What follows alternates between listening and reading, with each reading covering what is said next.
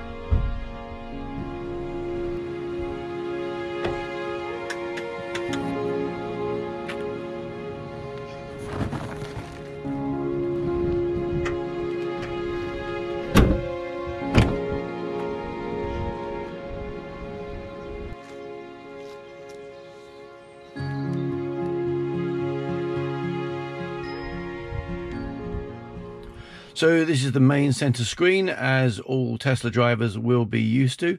And obviously there's far too much on this um, display that I could possibly go into in one uh, small weekend. And those of you that have got Teslas obviously are very familiar by now.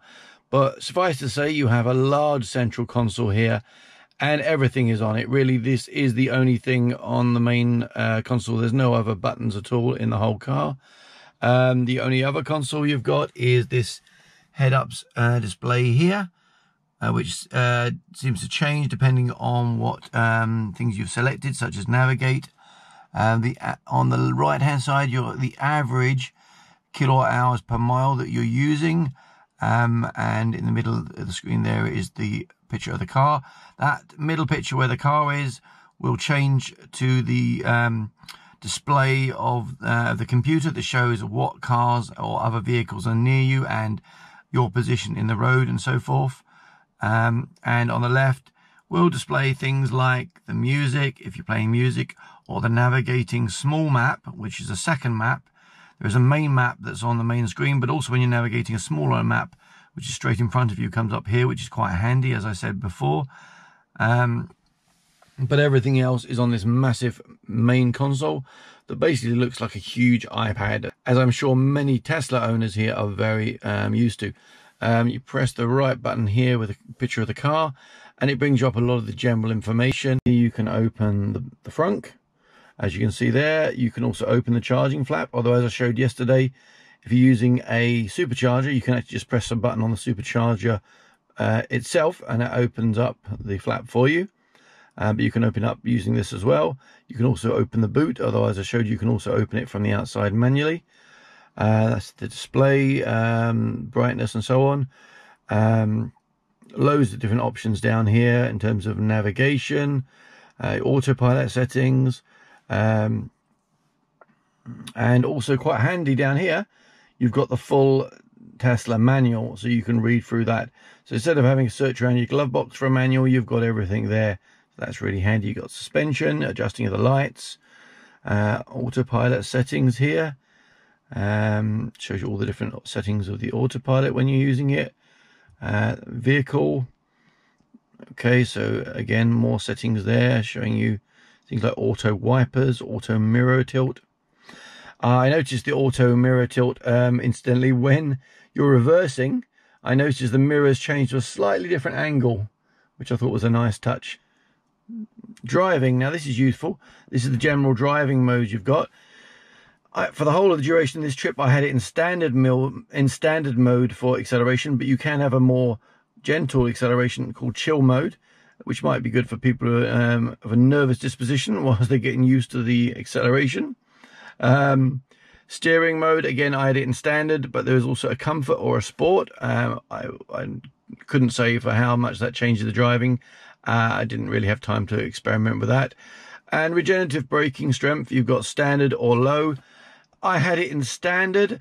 Uh, it felt a little bit more bite than the Leaf. But to be honest, I felt it was less bite than I had when I had an i3 for a week. Um, the but you can go into a lower regenerative braking but for me i actually found the regen braking quite comfortable once i got used to it to be honest um yeah it was just right for me um stopping mode you can have creep which is uh very similar to what i have in the leaf whereas it'll slow down on regenerative braking and then keep up a very gradual sort of four miles an hour type creep. I find that quite handy, to be honest, in traffic and things. But you've also got roll mode and hold stopping, which I believe will bring you to a complete stop using the regen, a bit like the e-Pedal does in the uh, in the Leaf. Let's have a look through some of the other quick things. And on the trips menu, uh, it shows you recent trips. That's quite handy if you're looking at being interested in your stats. Shows you the distance traveled, the total kilowatt hours of energy used, and your average energy use per mile. Um, so that's quite interesting, useful if you're interested. Navigation, automatic, okay, different, different navigation routes, including avoiding tolls and things. Uh, I won't go into that too much. Um, this and the security and safety, you've got things like your sentry mode. Again, I didn't set that on and I haven't used that while I've been and speed limit. You can limit your maximum speed. That's uh, useful. Okay, uh, that's about all really.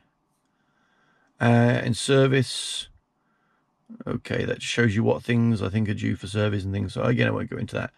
Software, okay. This shows you exactly which um, software you've got up to date, and it also shows you information about the car I had, which was the Model S long range, and uh, gives you information on the VIN and so forth. And it shows you that there is an update available. Anyway, you can connect to Wi-Fi, and you can update the software. And again, this has been one of the big selling points of the Tesla. Not only can you have uh, the Tesla supercharger network, which is brilliant, but also you can update software overnight while you sleep and when you get up your car is smarter and it's improved and they've updated software they've improved any bugs and they've made the uh, the car just a little bit better hopefully overnight. Uh, some manufacturers are moving i think towards having automatic over the air updates but really tesla is the best example really i think of this at the moment. So uh, other quick options. You've got your aircon and all the options there for aircon control. And you can also control the individual heated seats. Uh, and that's obviously very nice. Very individualized controls. And if you press this in uh, if you press this icon here brings up things like the toy box entertainment. You've got the internet. You can connect to the web. Um, That's the camera mode, and you got ah, there you go. So you, you can bring up your reverse camera. And actually, I, the reverse camera was very impressive. I have to say, if you look at that, that is really nice quality picture. Uh, and you need it because this is a big car. Um, you are maneuvering a very big car on uh, small parking spaces designed for much smaller UK vehicles. So having the all-round sensors, uh, which give you a very clear indication of what's near you, and having a very nice clear camera, and also you have the mirrors which adjust nicely uh, to a different orientation to uh, improve your view when you're reversing. And then as I say they go back to normal uh, position afterwards. So that is also very nice. Um, the sat navigation is up here and you can uh, type in where you want to go. Um, or you can just press somewhere in the map and hold it so if I press down the map it says do I want to go there? And you can just navigate. Now I found if you press the electric symbol it shows you your battery a nice pictorial form. And you can see here it's about 50% in the battery. Um, and this is shows you here you can set the limiter to what you want to charge up to as a maximum quite simply. And as you can see here it's set at the moment to about 85% you could have that to 100% or you could just decide to charge to about 50% it's up to you uh, I'll leave it where it was about 80% which was about 280 miles so if you go to display and you scroll up it shows you down here energy display either in distance which is what we had yesterday um, when we were charging, but you can show it in uh, energy as you would um, in the Leaf when you were looking at the battery. So if I now go back to the battery, um, which would be up here, so as you can see, it now displays in terms of percentage. And as I said, it shows you it's 51% at the moment, which is going to be probably more than enough for what I need. Now, as described earlier, I'm going to show you how the adaptive cruise control and autopilot work. And if you look just behind here, so if you come around to the side, as I say, you can see this, which is the indicator and also does the wipers. And, and then you've got this one here, which I think is probably the light dipper, but uh, you can tell me down below on the comments. And here is the one that controls the adaptive cruise control and the autopilot. And if I bring it round to the front, you can see that a little better. You can press down or up to uh, set the adaptive cruise control. Um, again, thanks to James and others who showed me that you can adjust the distance between you and the car in front by twisting this lever. And as you can see, as I twist the lever here on the display, it shows you how many car widths you are happy to be between you and the car in front when you're using the adaptive cruise control. Okay, so I set it actually about uh, five or six car lengths, which actually then felt more comfortable than it did when it was first set. Um, to engage the autopilot, you just simply bring it towards you twice like that. And when you do, you hear a ding and a blue light with a little um, steering wheel appears on the main dash. Um, if you make any small movements yourself of the steering wheel, it will detect that and come out of the um, autopilot. Um, same way if you indicate to change lanes, it will come out of autopilot. Um, anyway, you soon get used to that actually. So that just about wraps up my weekend uh, driving the, the, Tesla Model S. Um, I have absolutely loved it, as I'm sure you could tell from my videos. It is an outstanding uh, car, and I can see firsthand now really why people rave so much about Teslas.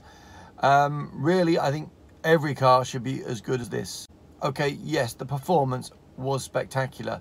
The internal computer uh, is, is brilliant. Oh, it's so intuitive. It's uh, just like your iPad and you can control every aspect of the car all from one console. It is brilliant. Um, it's very, very comfortable, obviously. It is a luxury car um, and it has to be one of the most amazing cars I've ever driven. That being said, I have not driven many many cars of this standard, so uh, yeah. Um, there were as well as the brilliant things in terms of performance and style and quality. There were the other little things that really um, were nice. Um, little things like when I was reversing, we noticed the two side the two side mirrors just adjusted their position a little bit to optimize the view. Great little thing, and so that combined with the back camera gives you a good image when you're looking backwards. And other little things like you've got the, the key in your pocket, that's all you need. As you walk towards the door, the doors offer themselves to open. Uh, and when you walk away, the car locks itself automatically. Um, I noticed at night, when I went to uh, open the doors, a little light um, comes up illuminating the handle. Again, nice little touches like that. The car's console is internet enabled, so you can check your emails, you could do anything you needed to as if you had your own iPad in the car. Uh, it's brilliant. Um, what else can we say? It's got a frunk, handy. You've got this nice little space at the front, and you have got literally acres of space in the back. And that's without even putting the back seats down. I think if you put those back seats down, I could probably lie in that back. I mean, it's amazing. In fact, I do know there are people that have put double mattresses in and slept in their Teslas. Um, so you have got tons of space. So what did it feel like accelerating in the Tesla? Well, I did a few kind of brief launches um, uh, within the legal speed limit. And yes, it was incredible. I mean, you can feel it in your throat. The excitement is like being on a roller coaster when you press that accelerator down hard.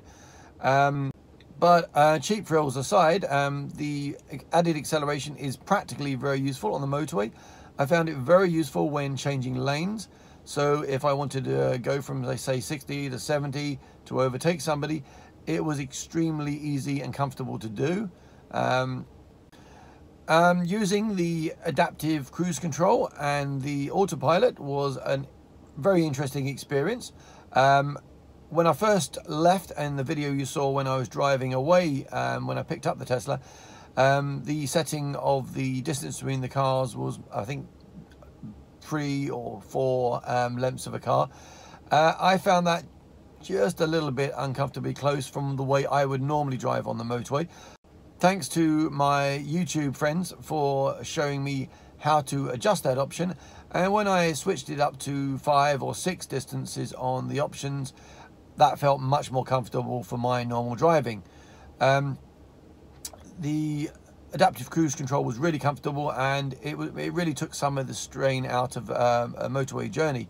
Um, it um, comfortably adjusted the distance when people moved into my lane um, and it was really, really good. The autopilot, I was a little bit unsure about.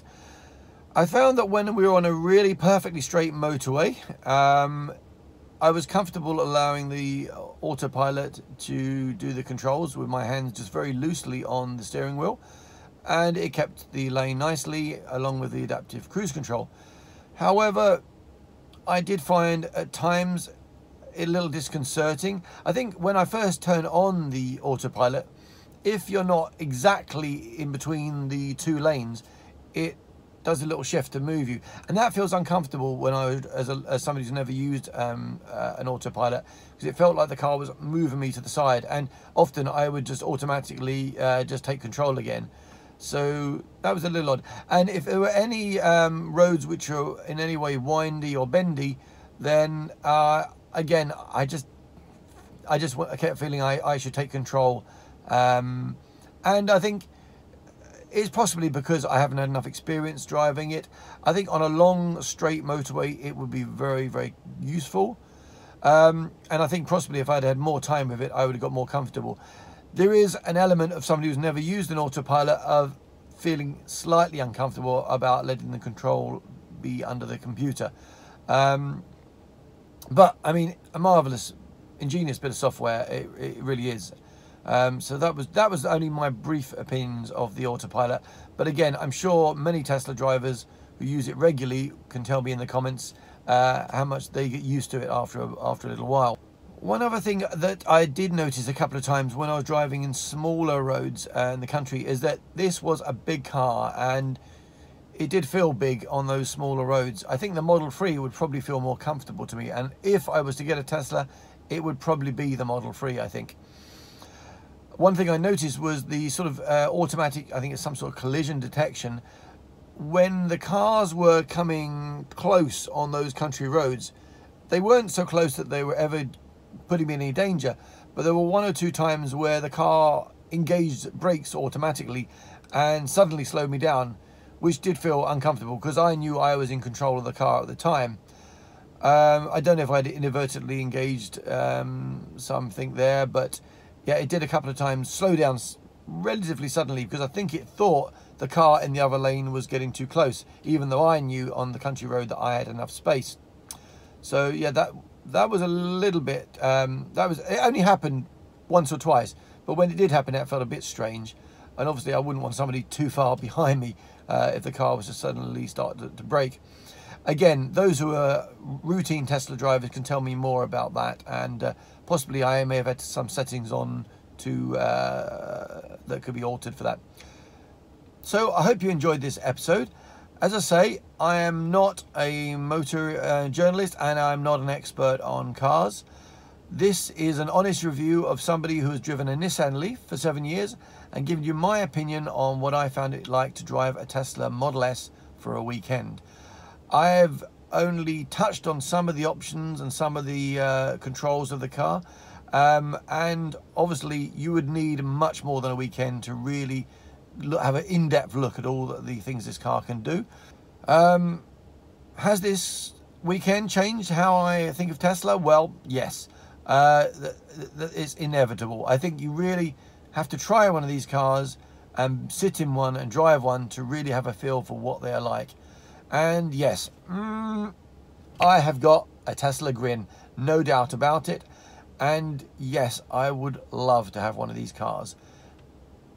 A bit out of the budget, really, at the moment. Um, in the future, if I can find a decent used one uh, in good quality, then you might start to see my episodes in a Tesla instead of a, a Nissan Leaf in the future. Who knows?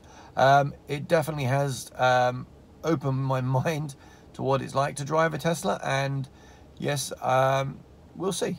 Maybe uh, maybe I will get one if I can find a way of making that Tesla stretch, as they call it. So that's it for this episode. If you did enjoy this episode, please don't forget to share it on Twitter, Facebook, or whatever social media you use. It really does help out my channel a lot and I really do appreciate it. Also, don't forget to subscribe to my channel and also don't forget to click the notification bell to get new episodes as soon as I upload them. So that's it for today and from the inside of a beautiful Tesla Model S, this is the Plug Seeker signing out. Happy charging everyone.